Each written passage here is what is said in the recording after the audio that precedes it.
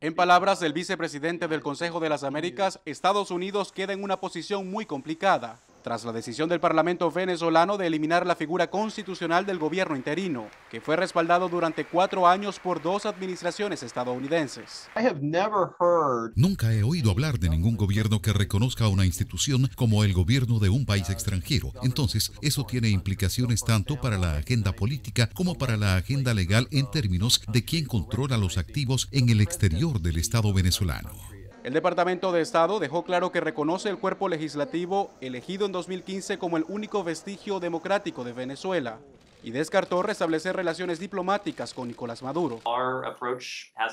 Nuestro enfoque no ha cambiado, él es ilegítimo. El encargado de los asuntos hemisféricos del Departamento de Estado ya había advertido que este escenario representa una situación legal complicada. Estas van a tener que ser preguntas que se resuelvan ahora en la Corte y van a ser muy politizadas y ha complicado bastante el escenario. Hoy un salto al vacío. El extinto gobierno interino declaró como inconstitucional la decisión tomada por la mayoría de los diputados opositores, que han mostrado una profunda división interna. El cuerpo legislativo argumentó la ineficiencia de la gestión de Juan Guaidó como la razón de su decisión. Mientras tanto, Nicolás Maduro se declaró listo para retomar las relaciones diplomáticas con el gobierno estadounidense.